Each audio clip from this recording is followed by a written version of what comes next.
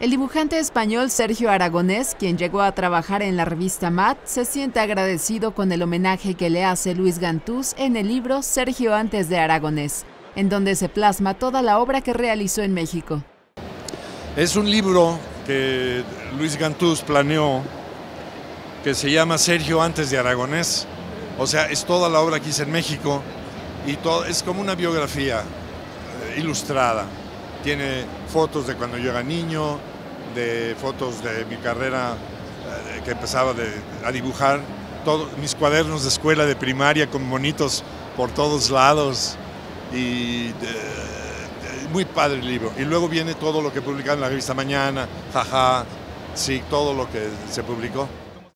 Puntualizó que esta profesión es muy vasta, ya que quien se dedique a esto puede trabajar en diferentes actividades. Es una carrera muy vasta. Hay publicidad, hay ah, tiras cómicas, hay animación. primero, saber qué es lo que les gusta, a lo que se quieren dedicar el resto de su vida. Que, no es fácil, porque es, eso. Una vez que empiezas a dibujar, ahí, eso es lo que vas a hacer en, de ahora en adelante. No es como ir al cine, ves una película y te sales. Esto o sea, buscar lo que hay que hacer, una vez ya este, enterado de lo que es, aprender a mejorarte. Explicó que el principal reto al que se enfrenta en la actualidad es que cada vez hay menos personas que les gusta leer y en vez de esto el público prefiere ver videos virales por internet. La gente que ya no lee, que ahora se dedica nada más a, a ver fotos de de gatitos metiéndose, metiéndose en cajas, de pericos darle un beso a un perro. Se pasan millones viendo esas tonterías y no leen. Entonces ya mucha gente ya no lee lo que yo hago.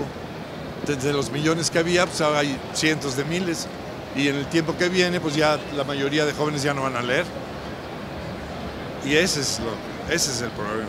El sentarse a dibujar para mí es como respirar ¿Me siento a respirar? No.